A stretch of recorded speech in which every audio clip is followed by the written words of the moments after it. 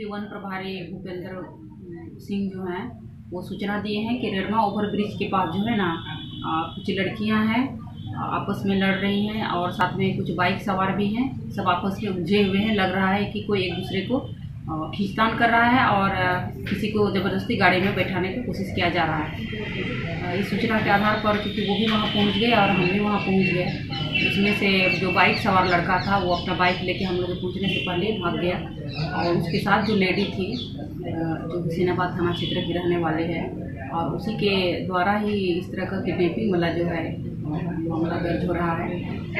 उसी के उसी के आधार पर ही एक लड़की जो औरंगाबाद की रहने वाले है।